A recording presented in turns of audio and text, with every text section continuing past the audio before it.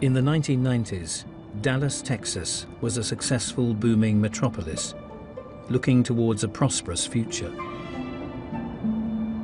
The city leaders of Dallas always would promote this city as the gleaming, shining symbol of the Southwest.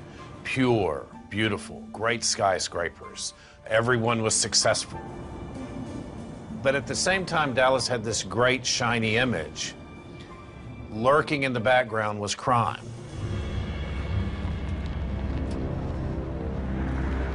Dallas was a very violent city. Matter of fact, the early 90s, we had our largest rate of homicide that we ever had. In 1991, we had over 500 homicides in the city of Dallas.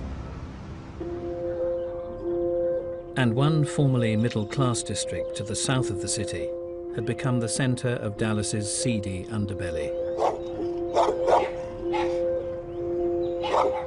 Oak Cliff had gone downhill. It was crime ridden. You had lots of crime, you had lots of prostitution, you had lots of drugs. It was not a place that you really wanted to be unless you were down there for a purpose. Oak Cliff was just there's a run downtown. It was full of a lot of degenerates. It was a part of Dallas that Dallas was probably ashamed of at that time. For beat cops Regina Smith and John Matthews, one aspect of the streets would require their undivided attention. In the middle of the day, you would see prostitutes walking in and out of the street, in and out of stores. Most of the girls that were out there as prostitutes had a drug problem. Uh, drugs were the crux of their existence. We had established rapport with these girls. You know, we cared about them. And we didn't see them just as prostitutes, we saw them as human beings. One of the troubled women working in the area was 33-year-old mother Mary Pratt. Mary was a girl that had worked the streets for quite a while. She grew up not very far from North Oak Cliff, and her family still lived just outside of the, the city of Dallas. She uh, loved her family. She had so much great love. And Mary wanted out of the life really bad.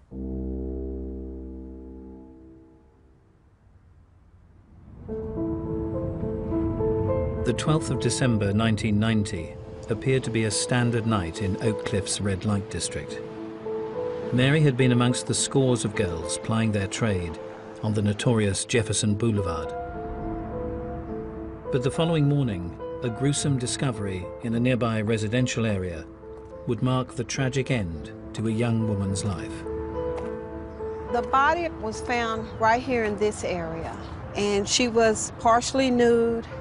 Uh, she had been shot, and she laid splayed out with her arms over her head. When we got there, it was probably three or four o'clock in the morning, best I can remember, and the body was just left in the street. As you can see, this isn't in a remote area where no one could see it. There's homes all around here, uh, people coming and going all the time. It was put here for someone to discover. The victim would be identified as prostitute Mary Pratt. Despite the displaying of her body, her murder was not initially viewed as out of the ordinary. It was not unusual for street prostitutes to be beaten up, to be shot. It just seemed to be a standard case.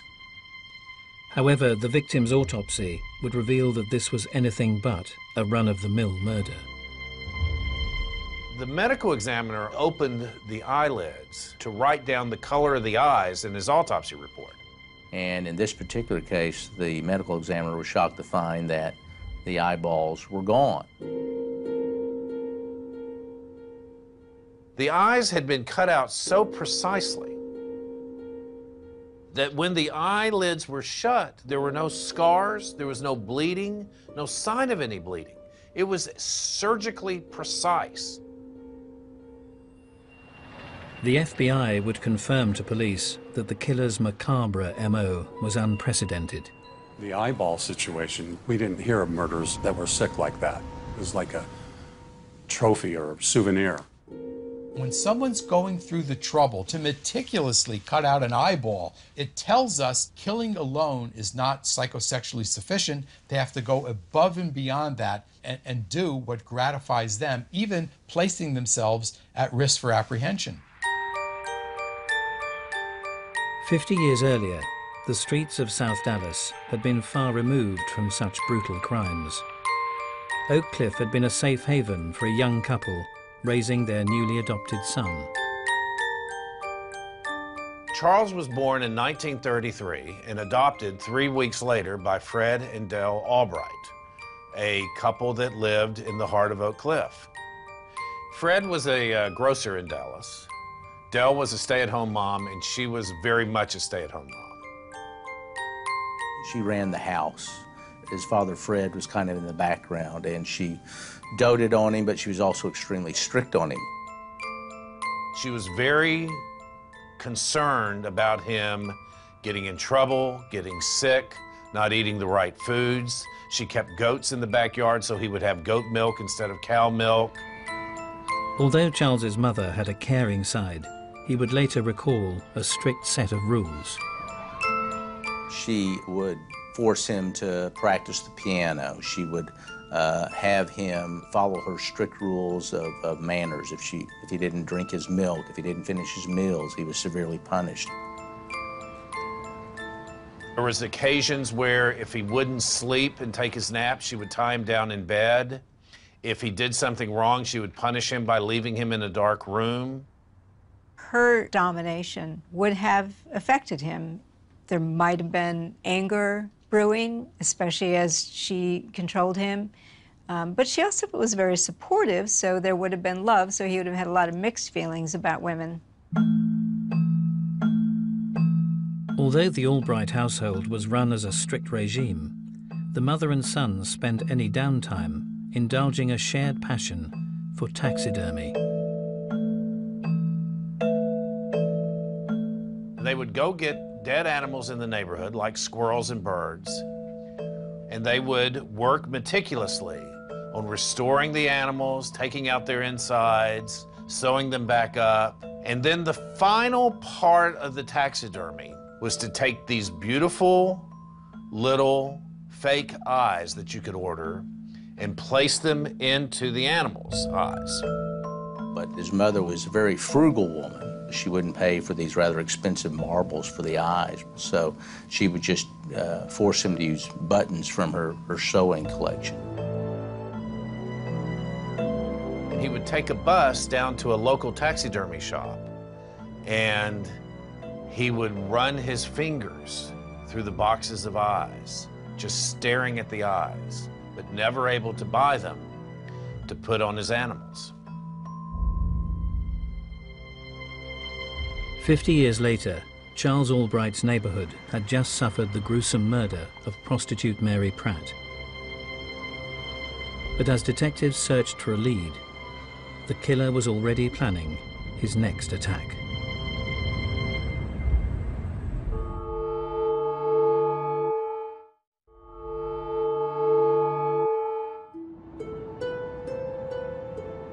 In December 1990, a shocking discovery was made on the streets of Oak Cliff, Dallas. 33-year-old prostitute Mary Pratt had been brutally murdered and grotesquely mutilated by the surgical removal of her eyes. As police searched for clues, beat cops Regina Smith and John Matthews turned to the local girls working the red light district on Jefferson Boulevard.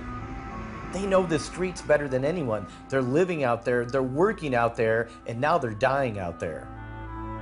The word on the street from the girls was that they felt the murderer had to be somebody that Mary knew, someone that had probably been out there on the street for a significant amount of time. What the girls were saying, they would think of their worst customers that had treated them badly, and none of it fit the profile of what we were seeing. You know, some of them were just, you know, totally way off. Police were further baffled by the dumping of Mary's body. She was known to have been working around Jefferson Boulevard, but her body had been discovered in a residential area some distance away. Mary, like most of the girls, would turn their tricks only in a very small geographic area. They wanted to stay close to their pimp and close to where they had friends. And having the body discovered a long way away from the Jefferson area was quite extraordinary. Although officers Smith and Matthews had little to go on, an encounter with local prostitute Veronica Rodriguez appeared to offer a break. I saw this gash on her throat and a gash on her head. And I said, What happened to you? And she said, You know, I almost got killed. I had to jump in a drain to get away from him. And so we were like, Really? Veronica claimed she had been with Mary Pratt on the night of her murder. She said that she and Mary double dated this John and that he had attacked him and that she got away, but Mary did not. The distraught prostitute would then describe a terrifying ordeal as she fled the scene. She ran barefoot and partially clothed across an open field, and she was a very small, thin girl, and she fit inside a drainage pipe. And she heard the attacker yelling her name, trying to find her. She found her way to the house of someone she knew, and that that person saved her. Despite Veronica's dramatic version of events, her drug-induced state put doubt in the officers' minds. They just thought the story was the kind of story that Veronica told all the time. But she did definitely look like she had been beaten up. However, just two days later, officers Smith and Matthews would cross paths with Veronica once again, whilst checking out a suspicious truck parked up in Oak Cliff's red light district. We swung open the doors, and that's when we saw Veronica in the car doing business with Axton Schindler. Schindler was a local truck driver, renting a house in the area. Veronica was very agitated. She was very upset, and she kept saying, Well, he saved me. Leave him alone. Let him go. Don't arrest him. Don't arrest him. That's the guy I told you about that saved me. He saved me. But he really didn't kind of uh, verify the story at the time that, that she said.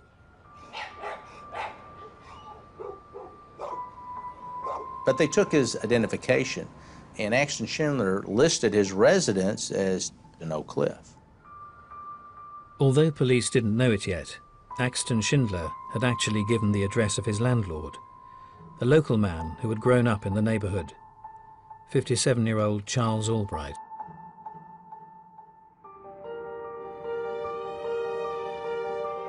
As a child in the 40s, Charles had experienced a strict regime at home. It appeared that this disciplined upbringing had paid off at school. He was very gifted in science. He was a gifted athlete. If you met him as a boy, you would think he's going a long way. He was smart and did well in class, but he also was the type of person who did pranks and would get in trouble a lot. He uh, was a good thief. He would steal the, the test exams and make copies for his friends.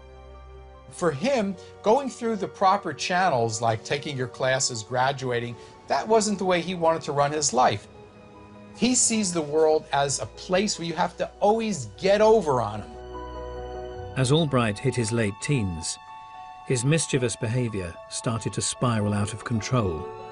He was arrested for breaking into a jewelry store as a boy and stealing a watch.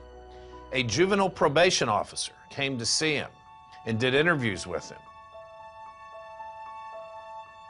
He had never before met a teenager who was able to divorce reality from falsehood. Albright could convince himself he hadn't committed a crime. He could lie to himself and be very convinced. Charlie's delinquent behavior would continue to escalate, and he would eventually be imprisoned for a year, aged just 17. However, on his release, he appeared to have mended his ways. So he goes to Arkansas State Teachers College.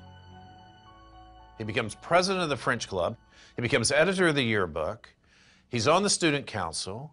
He uh, tries out for the football team, even though he's never played organized football before, and becomes the starting halfback.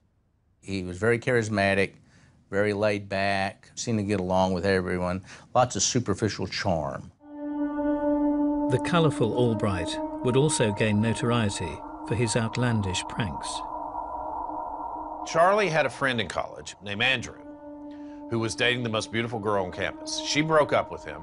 In a fit of despair, he tore up her pictures.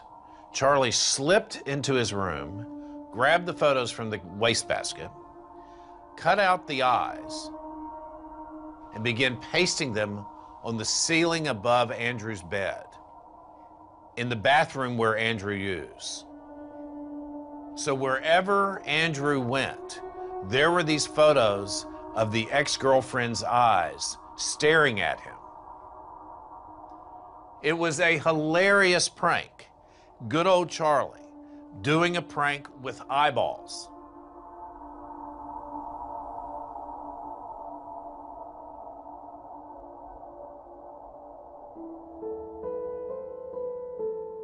Forty years later, local prostitutes were still working Oak Cliff's red light district despite the twisted murder and mutilation of call girl Mary Pratt. The girls will get picked up, some will get beat, some will get raped, and some will get murdered. That's kind of the life of a typical prostitute. But Oak Cliff was about to suffer another brutal killing that would strike an ominous chord with investigating officers. In February 1991, two months after Mary Pratt's body was found, the body of another woman was found on the same street in South Dallas.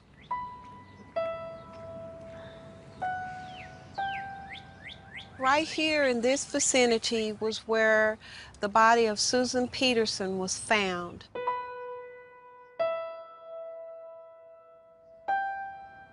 Her body was partially nude. She had been shot, and she was laying here displayed the prostitute's murder bore marked similarities to that of working girl Mary Pratt. Both bodies were dumped in the same neighborhood. Both bodies were shot. Both bodies were displayed in the same way, as if uh, the killer wanted them to be discovered quickly. When a killer just dumps a body, they are, first of all, calling the victim garbage, just dumping them in the streets for pickup.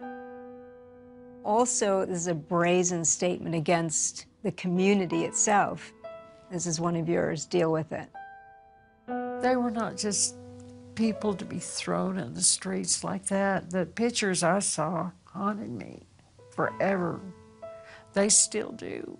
So what they did that? It didn't give anyone the right to take their life from them, nobody the right to take their life from them. Although Susan's murder had come under a different jurisdiction, on hearing the news, Dallas detectives feared her autopsy would reveal the same hideous mutilation inflicted on the face of Mary Pratt. They immediately called the medical examiner and said, check the eyes. And they got a call back that said, the eyes are missing. That moment, the alarms went on because now they knew they had a serial killer. They knew that he would strike again. That is the worst nightmare for a detective. He loved, clearly, taunting the cops. He wanted his work to be seen. He was like an artist, cutting out their eyes and disappearing into the night. The mutilation of the two innocent women was evidence of a most twisted mind at work. Detectives would soon discover that the killer's lust for trophies was far from over.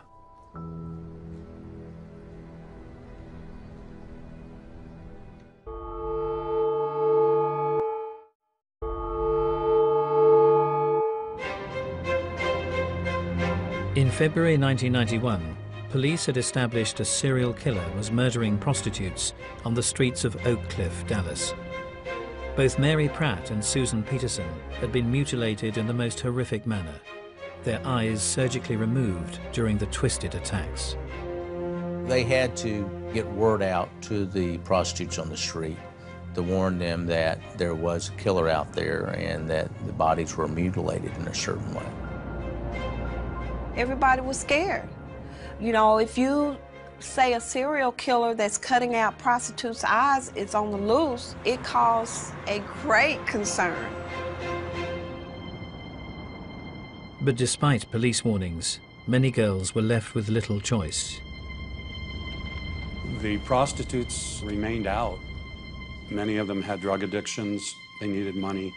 I felt sorry for them because they were, they were stuck in a situation that they couldn't get out of. Amidst an atmosphere of fear, one Oak Cliff resident had had to work nights as a paperboy to make ends meet. It was the latest in a long line of jobs for the colourful Charles Albright. Albright, he couldn't seem to hold the job more than three months or he would lose interest in it. At one point, he bought a lathe and made baseball bats that he sold. He told people that he was a bullfighter at one time and gone to Mexico. He got a beautician's degree and called himself Mr. Charlie. He was an artist at one point. A guy that worked with him at the beauty shop asked him to paint a portrait of his wife. And Charlie spent hours working on the portrait. Finally, the guy said, Charlie, when are you going to get done with the portrait? And Charlie said, I have just one thing left to do.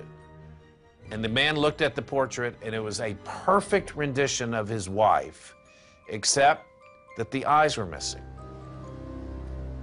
But Albright's eccentric demeanour hid a life of petty crime. 22 years earlier, in 1969, he created fake qualifications to land a job as head of biology at a high school east of Dallas. From there, he coached the football team. High school girls swooned over him. High school boys wanted to be like him. They would come to him for counseling. He was gregarious, he was charismatic. Um, it was very easy to take people in and make them believe whatever he wanted. That would have made him feel superior. Having eventually been sacked from his teaching post, Charles Albright continued to commit a series of minor offences throughout the 70s.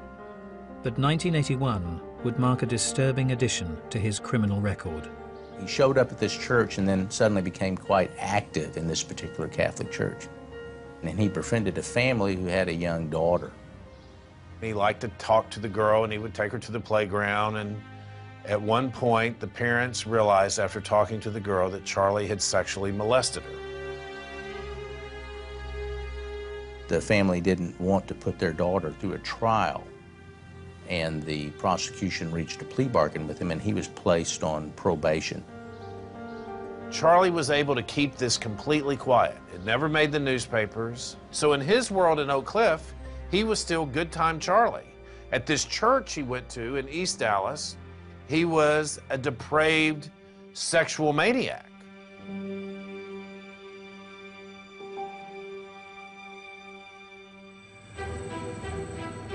Ten years later, in 1991, panic had set in throughout the wider community of Oak Cliff, following the brutal slaying of two white prostitutes.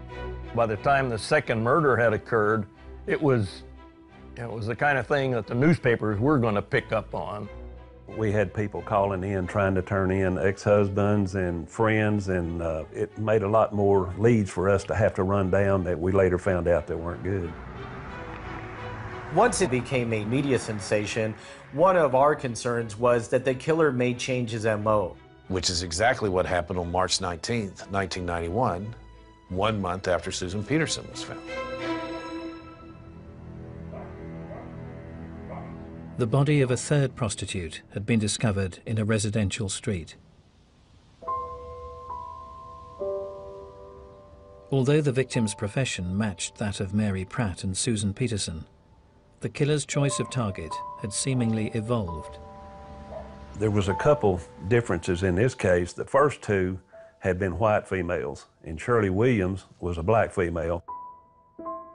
The killer's change of MO had resulted in tragedy for the 45 year old, who, despite police warnings, had remained out working the streets. When you look at serial sexual murders, in 70% of the cases, they experiment at a crime scene and do something very, very different that they didn't do before. So if you have a series of five murders and four of the women are white and one is African American, that does not surprise me. Despite any differences, the killer's brazen brutality was still evident. When the officers arrived, they found her completely nude and her face was mutilated. Her body was near a school and she was left where all those children could see her. She had been shot several times and it was a bloody scene. With the cause of death established, there was only one thing weighing on the detective's mind. Of course, the first thing we did then is opened the eye socket. They checked and they saw that her eyes was missing. We knew then that we had a third one.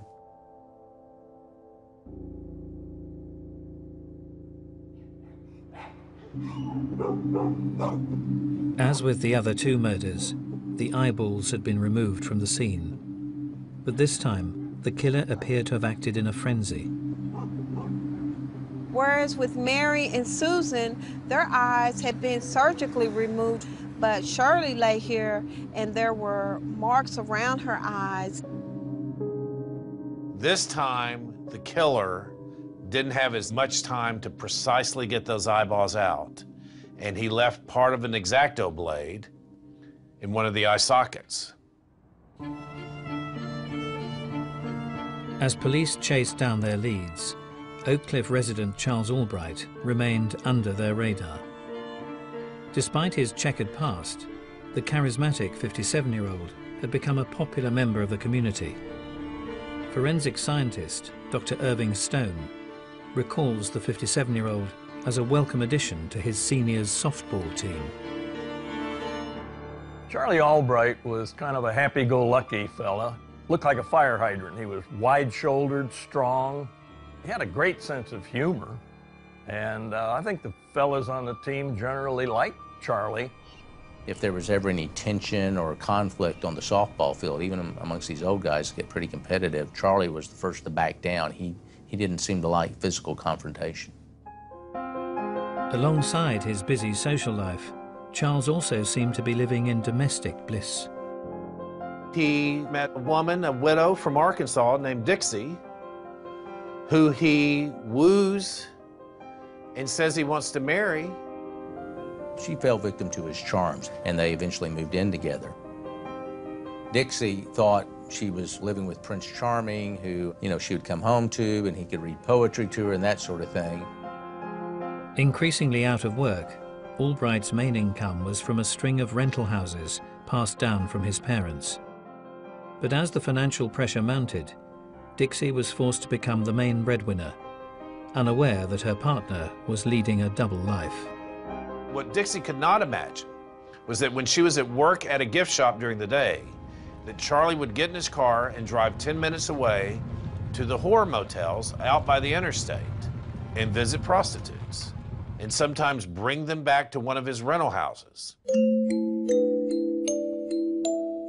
He was very smart, so he had the ability to live in a variety of compartments. So, and each of those compartments would have its own sense of morality and sense of identity, and it would depend on what, what situation he was in or what mood he was in as to what he was going to do.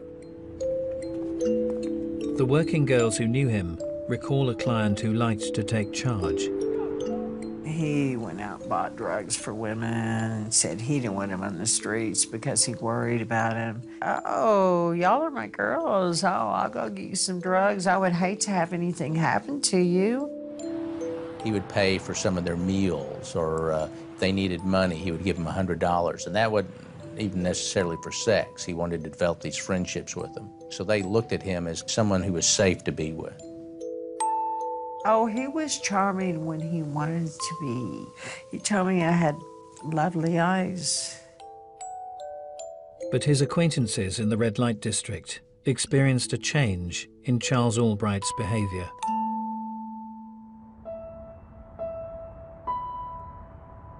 With some of the prostitutes, he began to develop a sadistic relationship. You saw two different sides of him. You saw a charming, nice side, and you saw an angry side. He began tying them up. He would hit some of them with, uh, with rope or with an extension cord. He would yell at them. He would cuss at them. He got very rough in his uh, sexual activities.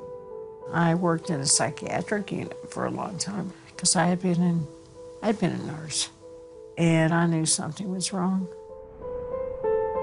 Although Albright's secret life remained hidden, one unexpected episode would leave his softball buddies in a state of shock. Two young women drove slowly past the softball team right as the game had come to an end, and some man just said as a joke, I bet they're prostitutes. Hey, Charlie, why don't you go have a taste of that? And Charlie turned and looked at that man and said, I hate prostitutes. If I had my choice, I'd kill them all.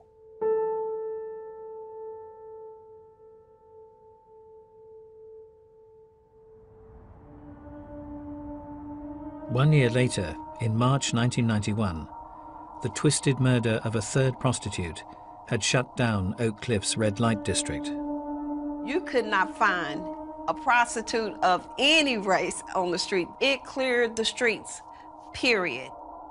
In an atmosphere of fear, beat cops Smith and Matthews would glean some crucial information from working girl Brenda White. Brenda told us a story about this older white male driving a station wagon who had picked her up. He was very strong, very muscular. He had salt and pepper hair. He wanted to take her down to some property he had down south. She, being a veteran prostitute, knew not to go. He became enraged, and she was so frightened that she had to mace him in order to get out of the car. On hearing Brenda's description of her assailant, the officers then reconsidered an earlier witness statement from another Oak Cliff prostitute. That brought to mind Veronica's story, because she said her attacker had salt and pepper hair as well. Veronica Rodriguez had insisted she had witnessed the brutal murder of Mary Pratt before fleeing to the rental house of middle-aged resident Axton Schindler. Axton was a small guy, a very kind of shy and passive individual, not someone that could overpower these girls. We knew Axton wasn't the killer. But when Officer Matthews checked out the address Axton had provided, he discovered it was a property near to where Shirley Williams' body had been discovered. Having eliminated Schindler from the inquiry, police turned their attention to his landlord.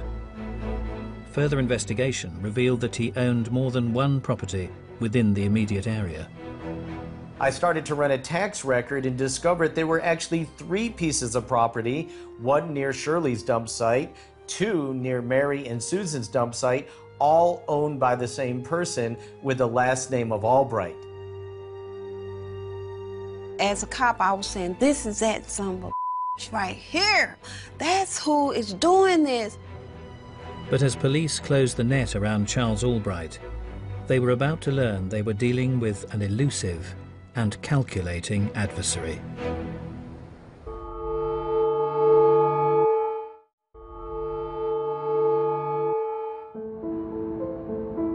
During 1991, a depraved serial killer had struck at the heart of Oak Cliff's red light district. Having connected the three murders by the bizarre removal of the victim's eyes, Dallas police finally believed they had their man.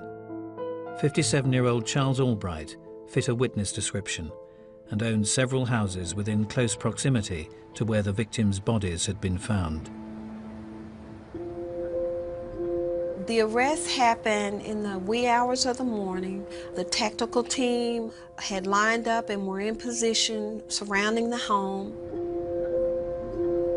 They burst in, they grab Charlie, who says he has no idea what they're here for. Having broken the case, officers Matthews and Smith were tasked with taking the suspect in for questioning. The atmosphere in the car was just as eerie as one can imagine. It was total silence in the car. The one thing that I remember is looking back and seeing the darkness in his eyes. It wasn't even like looking into a, a real person's eyes. It was absolutely amazing and at the same time, absolutely terrifying.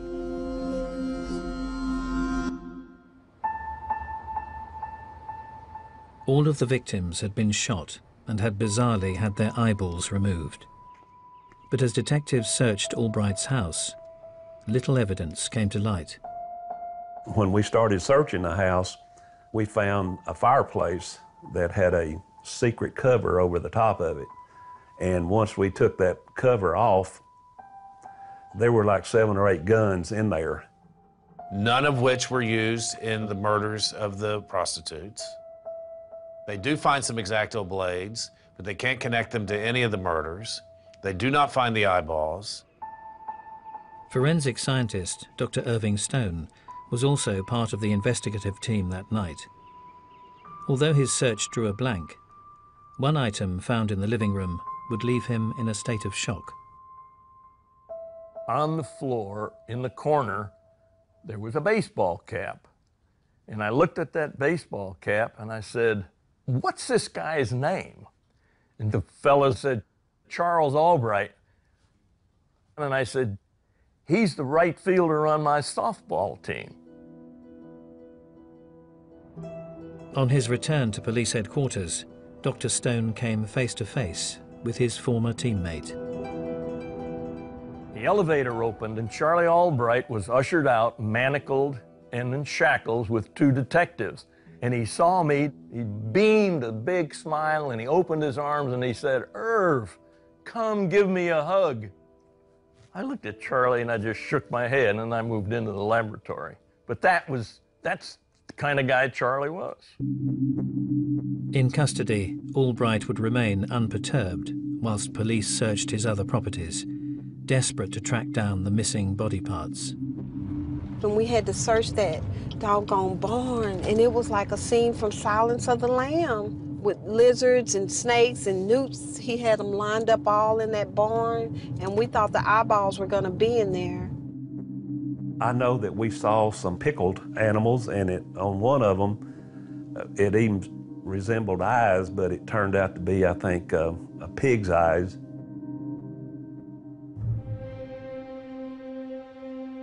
Although the evidence against Albright was still lacking, officers Smith and Matthews would locate the site of Shirley Williams' murder following a tip-off from a local prostitute. The discovery of her coat at the scene provided the turning point in the case. That directly tied Albright to Shirley Williams. They found a hair on the raincoat that they couldn't identify at first. And the interesting thing was they found this same type of hair in the vacuum cleaner from Albright's house. And they actually had to go to the zoo and have uh, their experts look at it, and they identified it as a squirrel hair. They knew that he had vacuumed the truck or something in order for those hairs to get, you know, in that vacuum cleaner. So that became a, a crucial piece of evidence. At trial, Albright would deny he had even frequented the red light district. But ultimately the jury found him guilty of the killing of Shirley Williams. Although he wasn't officially charged with their murders, the cases of Mary Pratt and Susan Peterson were detailed in court. As Charles Albright faced life in prison, the shattered community of Oak Cliff would try to comprehend why this one-time petty criminal had targeted Oak Cliff's working girls in such a brutal manner. He was adopted, we knew that. And his birth mother might have been a prostitute. And with him living with uh, the thought that his mother was a prostitute, you know, it might have just festered over the years or something like that. But for many, it was Albright's unprecedented MO to mutilate his victim's eyes that was truly unfathomable. Albright had never really accomplished a thing in his life. And uh, I think this may have been a way, you know, he, he was going to make his mark in the world. There was incidents in his early life that his mother used buttons for eyes in their stuffed animals. And I usually am very reluctant to attribute future behavior as an adult to events in childhood. But in, in this particular case, I, I really think it, it applies. He will talk at length about his obsession with eyes to this day. In his prison cell, he reportedly had drawings that he had made of beautiful women's eyes, taped one after another across the wall. In the aftermath of his twisted brutality, one question remained. Was Charles Albright born to kill? I think the key to Charlie is to understand, despite all his charm and all his cleverness, and that he had, from the beginning, an antisocial personality. His adoptive mother, Dell, perhaps sensed it. And maybe that's why she raised him so diligently. She knew that her son was going to spiral out of control. I think Albright was born to be a con artist, to be a person who would do whatever he wanted. And so if murder was something that appealed to him, he was ready to do it. Even though he had a strange childhood, he wasn't abused in any way. He wasn't sexually abused. He wasn't physically abused, really. I think it was more genetic.